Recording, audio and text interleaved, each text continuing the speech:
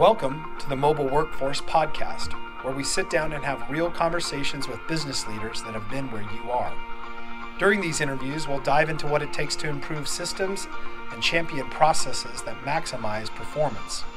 Each week, our trailblazing guests share their experiences and understanding of the workforce to help inspire change, challenge our thinking, and share what it takes to successfully travel the road to profitability. Now, here's our host, co founder and chief evangelist of About Time and WorkMax, Mike Merrill. Hello, and welcome to the Mobile Workforce Podcast. I'm your host, Mike Merrill, and today we are sitting down with Nate Fuller. Nate is the founder and director of Placer Construction Solutions.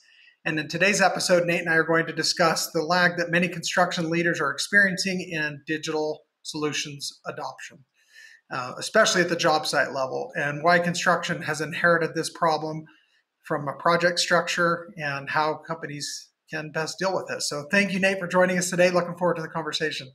Yeah, it's great to be here. Thanks, Mike.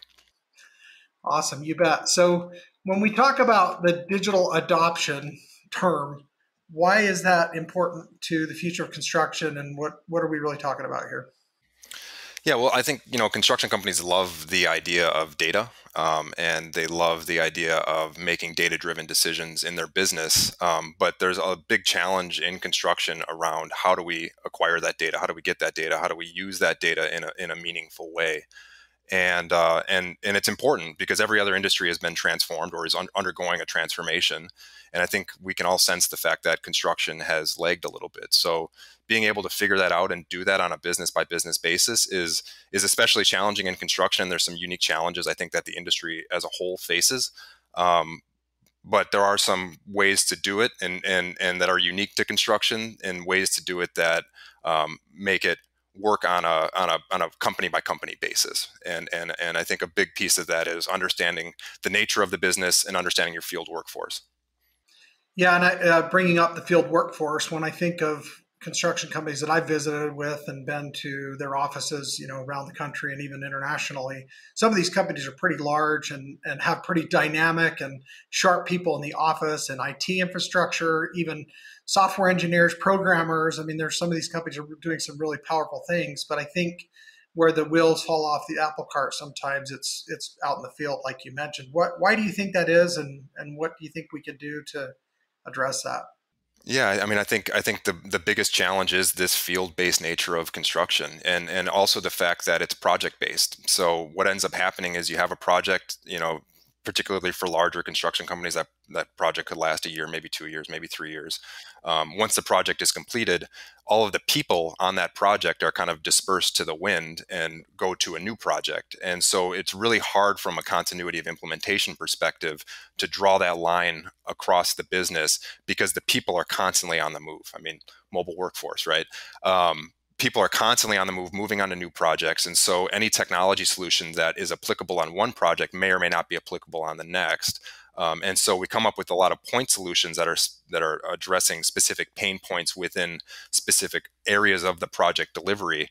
Um, but again, that continuity of implementation across projects becomes really challenging because the projects change and the people on those projects are constantly changing. And so what I focus on with my work is is really understanding who the people are in the business and, and getting a good understanding of your field workforce and what their needs are and what their interests are and highlighting those specific individuals within the field teams that we can lean on for improving digital implementation and digital adoption. Yeah, that's a that's a great point. And I think we've got really two swim lanes going on here. I mean, just because something's really amazing for the office and very powerful doesn't necessarily mean the field end of that is is going to be um, viewed the same, right? Exactly, and you know, there's there's gap. There's a huge gap in construction between the office and the field, and I think it's it's larger in construction perhaps than in, in a lot of other field based industries. Um, you know, it's a geographic gap. It can be a cultural gap. Um, and and oftentimes times what ends up happening is you'll have folks in the office making procurement decisions around specific types of technology um, without a really clear understanding of what the field needs are. And and so there's a there's a there's a gap between the decision makers in the office and the folks in the field who are ultimately going to be the end users. Um, and so the construction companies that that do technology and do digital ad- adoption well are the ones that have a really innate understanding of their field teams and what their field teams need. Yeah, that's a great point. Uh, you use the word understanding, and I think that's something that we need more of when we're trying to bridge this gap. Um, obviously, you've got uh, digital adoption as, as a term that we hear quite a bit. What do you think the best approach is to help companies to really adopt these products that are digital in nature? Right. You know, it really it really depends on a on a business by business and a company by company um, nature. So one one of the other really unique things about construction is just how fragmented it is. I mean, we're talking about the fact that ninety percent of construction companies have less than twenty employees. Um, and and as far as that level of fragmentation, there's really no other industry on the planet that that is that fragmented. Um, what that means is that when we talk about construction, we're really talking about a lot of very big industry sectors and a lot of different companies of different sizes.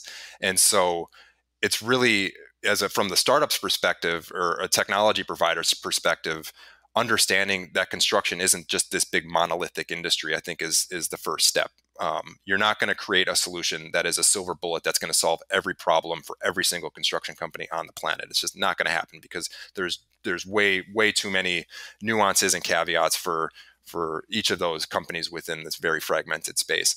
Um, so really staying focused on one particular part of construction or one pain point within the construction value chain is really important.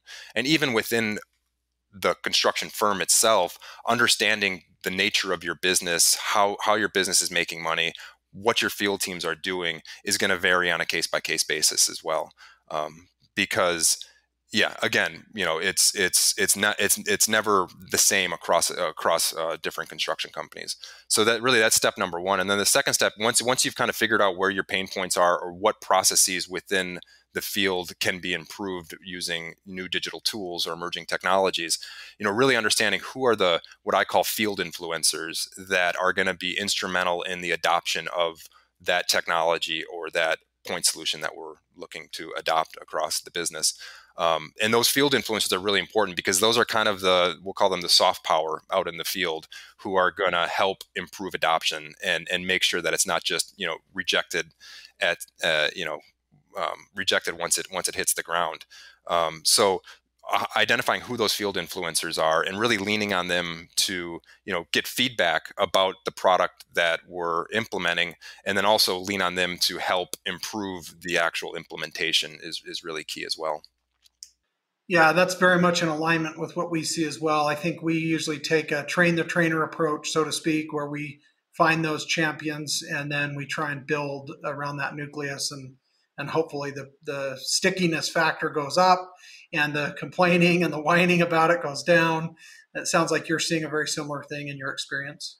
Yeah, and I think I think the technology providers have a stake in that as well. I think a lot of the tools that have been historically developed for construction have been these kind of back office tools. Um, and and there's a lot of reasons for that. I think the field-based nature of of construction makes it difficult to get computers on job sites. But I mean, look, we have these supercomputers in our pockets now, so it's not the technology that's necessarily holding us back. It's it's the ability to use technology in a meaningful way. And so I think technology providers, you know, there's a there's a, a very active, robust construction technology ecosystem that's developed over the past 10 years. You know, these folks really you know, are beginning to step up and understand that um, that the field is where it's at in construction, and you know, understanding how to use technology and get technology used in a useful way um, out in the field in construction is a huge part of the the solution to you know this huge productivity gap that the industry faces. Yeah, so when you're talking about these field influencers or um, embedded leaders, whatever you want to refer to them as, is there a rule of thumb ratio or some some approach that you try and take to make sure that you have enough coverage? Yeah, so typ- typically what we look to uh, highlight is about five to ten percent of the organization. So when you when you talk about digital transformation, and this topic can get a little heady, a little too heady sometimes, um, but you know the idea of digital transformation is the idea that the industry needs to really reinvent itself around um, uh, uh, digital applications and, and, take a more data driven approach to operations of their business. And in, in, order to achieve that, in order to begin digitizing a lot of the processes um, within the industry, you know, you need about five to ten percent of the business bought into it. You don't need everyone, and there's going to be a lot of laggards, right? There's going to be folks that are just they've been doing it uh, for you know 50 years and they're not changing how they're doing it, and and and that's okay. You know, you, you know, we we don't need to win everyone over. Um, so what that means in practice, you know, the five to ten percent is if you're looking at an organization of a thousand people, you need about 100, 100 folks that are really bought in and, and helping carry the banner for um, digital adoption and new digital tools. Yeah, this is very interesting because that's a that's a very similar ratio to exactly what we see. We, we think every leader to every five to ten field people is is optimal. So, yeah. and and um, yeah. Anyway, go ahead.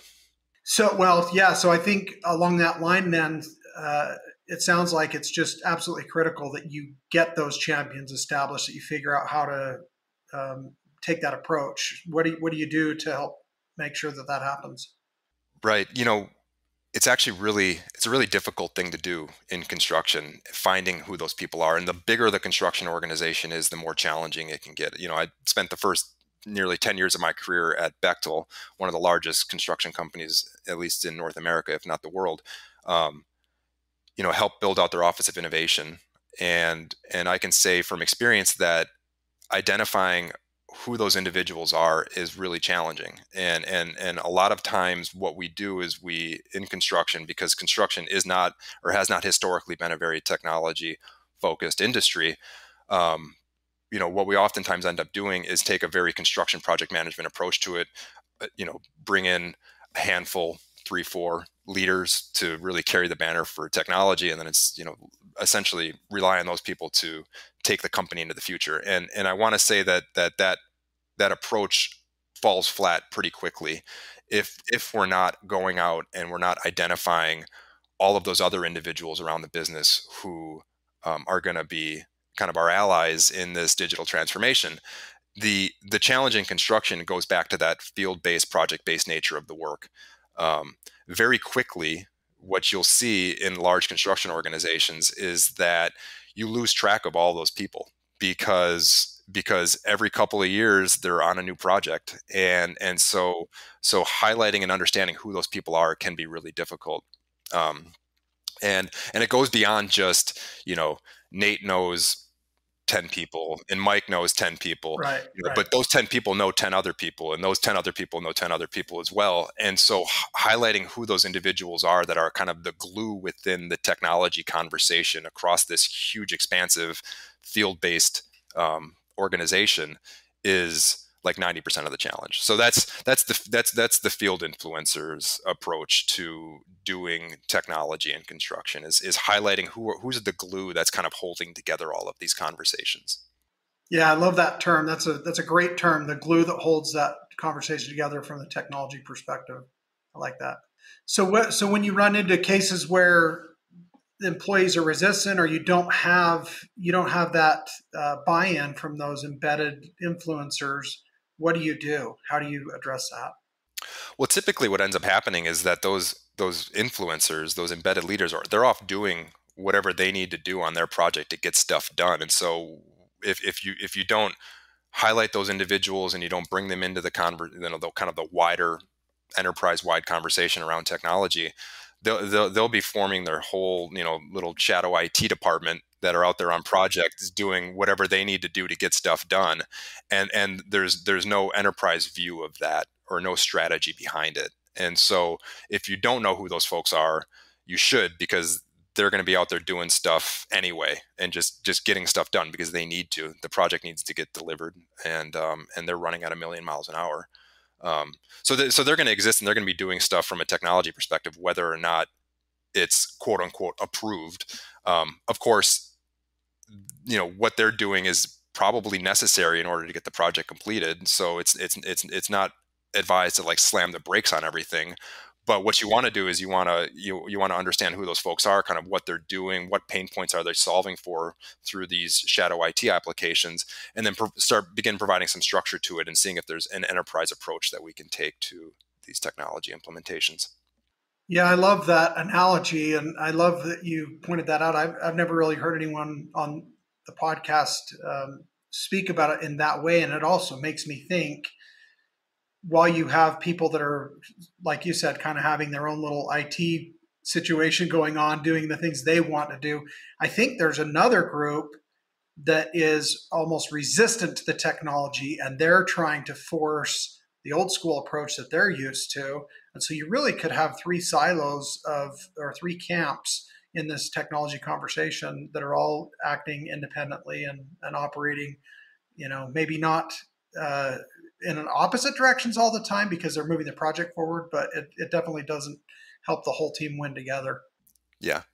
Look, I mean, uh, at the end of the day, a lot of construction is not digital. I mean, we're building things we're building real things and and we're using our hands and tools to get it built um, but there's a lot of processes out in the field um, that that we're doing that are paper based currently that could very easily be digitized right and we're you know we're talking about safety audits uh, safety inspections incident reports checklists um, so a lot of the shadow IT revolves around digitizing those processes, and, and I don't know that there's a ton of resistance to that. I, I don't I don't I don't think that there's an old school guy that's like, no, I'm not going to, you know, enter information into the Excel spreadsheet because I'm used to doing it on paper. Like you know, for for the most part, like I think people are, are okay with that. Um, so we're not ta- we're not talking about like completely reinventing um, the way that we're building projects. What we're talking about is is making it making it more um, making more digitized workflows, more digitized processes in the field that are going to allow us to be to work more productively and more efficiently. Um, so, but to your point, I think, you know, there are certainly laggards. There might be some guys out there that just, you know, for whatever reason are not going to give up their, you know, paper and pencil. And, you know, I think, I think the, uh, the digitized workflows will eventually win that battle. Yeah. And I see one other thing that we run into, and, and you probably have too, is you have people that might actually be trying to sabotage some of these things too because they they don't want to change so they're they're happy when the wheels fall off of something or there's an error a bug or they can't get a connection or something doesn't save or whatever whatever excuse or reason that they may share what what have you done or seen done to address those types of things yeah i mean it's it's it's easier said than done um in a lot of cases i just I, I, typically focus on the folks that are kind of driving things forward and really empowering them and giving them the air cover eh, to be able to to to to do what they need to do in order to you know begin digitizing these these processes. Um, I, I don't know that that that's an easy question to answer. It's really on a organization and organization in a case by case basis. But I but I think in general, my philosophy is like let's go out, let's find the, these field influencers, let's empower them to take chances around use of new technologies and support them in that effort. You know, as long as we're doing our work safely, right? Um, let's support them in that effort and uh, and and see how the chips fall because I think we all know that eventually we're going to get there. One of these is going to win out. Um, so so I think empowering those individuals is probably the first step, and and I think bringing like that five again that five to ten percent of the organization along along with you is um, is is really the the key to it all. Yeah, and as I read between the lines from what I just heard you say, it sounds like, and I really like this advice. It sounds like you're saying, look, just stay the course. Like the, this is going to work out. You just have to keep going. Is that right? Yeah, that's right. I mean, we're, we're, we're putting bets on different ideas around the business, different individuals around the business who are who are in touch with field operations and they, they know where the pain points are. And, and we're putting bets on those individuals. And some of those bets, you know, it's like any bet. Some are going to pay off, some aren't. But in the long run, we know that, you know, for the sake of the, the business and future proofing it, um, that we have to make those bets in order to be successful in the long run. Yeah, and to your point, if if you decide to take no action and continue forward, well, you already know what those results are. That's what you're already getting, right? Exactly, exactly. You know, I, I really, I really do believe that in the next ten years, the, the construction organizations that have technology figured out are the ones that are going to be around. Um, you know, just from a from a safety, from a from an efficiency, from a productivity perspective, digitizing um, our workflows and our, our work processes in the field is is pretty much existential in the long run. Um, you know, I think I think a lot of companies are going to continue kind of chugging along for the next decade or so, and and and they're going to be successful in the way they've done construction work traditionally. Um, but uh, but I think eventually, you know, the future is going to catch up to them. Yeah, that's a great point. I think one other thing that keeps coming to my mind as we're having this conversation, and I'd love to get your take on it. How critical, and this is, I mean, really for the listeners, I, I hope they really pay attention to this. How critical is executive and management buy in on these types of solutions? And, and when there's a problem there, what happens and what does that cost somebody? Yeah, well, I mean, it, it's from from the executive buy-in perspective. I mean, it's crucial, right? Um, you know, I think any any large scale enterprise wide initiative needs to have the air cover and the support of leadership.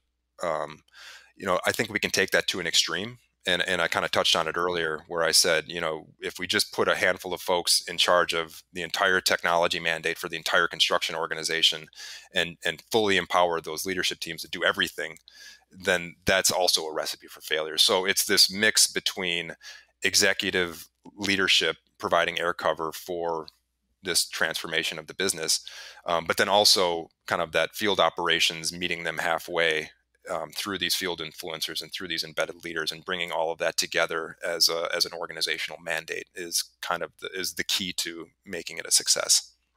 Yeah, when I hear you use a term like organizational mandate, I mean that that sounds like that's like mission critical. Like this is where the ship is going. You got to get on or you got to get off. And and I mean, would you would you state it in such a firm way? Yeah, no, I, I, I, definitely think so. I definitely think that the companies that, that do it well in the next five years are the ones that are going to be around in the next 10. That's great. I, I totally agree with that. So, uh, what is something that to you seems surprising that you're seeing out there today that, that has taken hold and, and companies are really leveraging? You know, a lot of it's pretty low hanging fruit. So things like digital drawings, right? Um, a technology that even five, ten years ago wasn't widely adopted is becoming more and more adopted.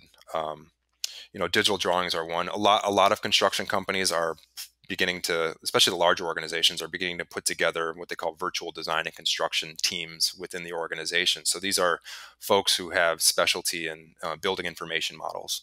Um, so, so digitizing the the design um, and then essentially handing that over to the field to build and kind of and, and steering away from kind of this old paper-based way of doing things. Um, so you know what what that does is it really opens up a lot of opportunities for just the way that the project is delivered as a whole so across the entire project lifecycle if you could digitize everything from the you know early uh, feasibility through design through execution to handover you've basically digitized everything at that point and i think building information models are um, are, are crucial to that um, but look, a lot of, like I said, you know, 90% of construction companies are less than 20 employees. So the vast majority of construction companies are not going to have, um, you know, VDC teams to to to lean on to do this stuff. Um, so you know, I think that's where technology providers really need to step up and and begin making tools that essentially outsource the what a traditional VDC team would do within a large construction organization, and maybe not have all of the bells and whistles that you that would come with with it, um, but provide that access to that those types of tools, those BIM tools, to you know that huge base of the construction industry that that exists. Um, but yeah, again, it's just it's the digitization across the entire design through execution and into handover. Um, because at the end of the day, you know, we're, we're past the point of handing over a big stack of document paper documents to the to the customer um, at the at handover time. You know, we, we can really begin to hand over, you know, digitally and and and make all of those processes much more efficient. Yeah, when you talk about handover, one of the things that I've brought up here before in other conversations is is you're essentially able to deliver an owner's manual to the new owner of this of this project, right? Because it's all digitized. Exactly. Yeah, it's all digitized and, and and and accessible. You know, you're not you're not sorting through a file cabinet full of uh, specifications and contracts. and then also uh, just the safety factor of things like collision detection or not not do, putting things up that you're ultimately going to have to take back down and then you know readdress a different way because you you know you didn't realize until you actually got the, the parts and pieces in place that you know this just wasn't going to work right that's right. Yeah. So you know, the clash detection for things like constructability reviews. You know, um, being being able to get foremen and superintendents into an environment where they're able to review the design before they bring all the trades in and realize, oh, you know, this is isn't where it's supposed to be, or it's it, it's it's you know this trade is clashing with that trade at this time. Um, you can do all of those reviews digitally and remotely. Um, and and what that does is it ends up saving a lot of time and headache and heartburn on the project once you're out there and you, and and and these clashes eventually become realized. Yeah, and I like you actually mentioned the heartburn word at the end because even though we we like to look at things from a monetary and a scheduling perspective, that heartburn is what can bite you later in different ways. And, and I think there's there's hidden money there that we lose sometimes because of excessive heartburn, right? Yep. Yeah. Yeah. Yeah. And, and, and, and just that efficiency, the process efficiency of being able to bring people in and not, you know, be at each other's throat because they're ticked off at the other guy because they weren't there on time or they didn't know that they needed to be there. You know, be, being able to really streamline those processes in the field um, through the use of digital tools yeah the or the chip on the shoulder from because the last project that we ran into this you know uh, when i was a builder actually had I, I, took a picture of it i'll have to look it up see if i can dig it out of my archive somewhere, but um, but I actually had an electrician who drilled a, an inch and a half hole through a plumbing line and fished his wire through it. So I don't know if it was intentional and he wanted to prove a point. I don't know if it was, you know, somebody really truly wasn't paying attention or they had the the the new the newest guy that just got hired that day do this, but it was uh it was kind of funny and and uh, something we joked about later. But I have seen those types of things where subcontractors are are literally you know sabotaging each other and causing each other problems over things like that. Mm, totally, totally. And and and, and you like you like to think that people are going to be on their best behavior, but it's not always the case. Yeah, no question about that. So, so we talked about what uh, the low hanging fruit is that you have noticed and that uh, is good to see. What are some of the things that surprise you that aren't happening that you think companies really are missing the boat on and, and should be spending more time and focus on trying to adopt? That's a good question. Um, again, I mean, it's so much of it comes back to this case by case, business by business um, perspective, and the way that the industry is fragmented. So it really, it really depends on which part of the industry we're talking about.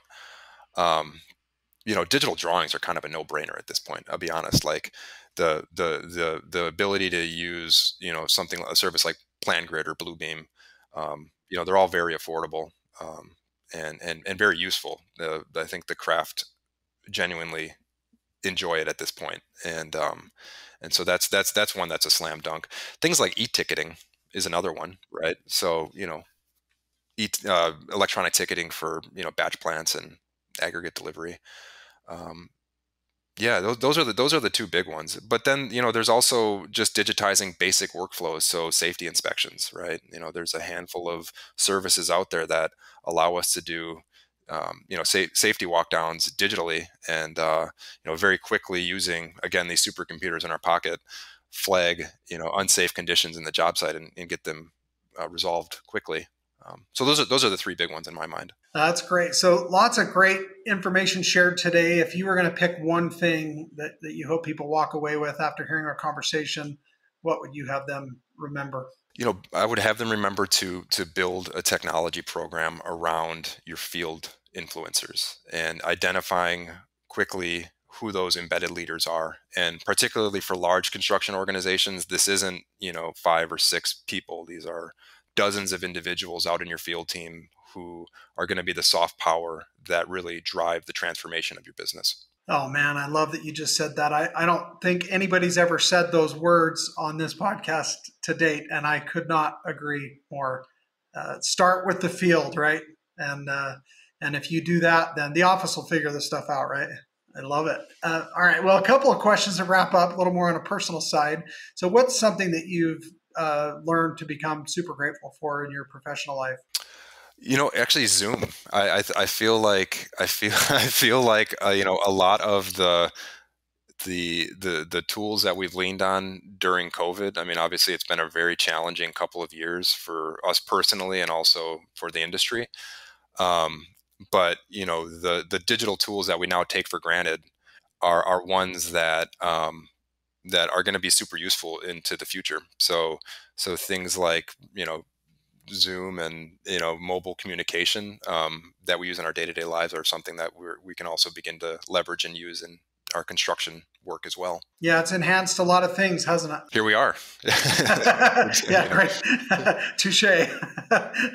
All right. So, last question. So, what what Nate do you think has become what you'd call your superpower in life? You know, really taking that bird's eye view of a problem and a challenge, and and and working with people out in construction organizations to put together a, a really robust strategy that's founded in reality that's data driven that understands the nuances of construction and the challenges of construction.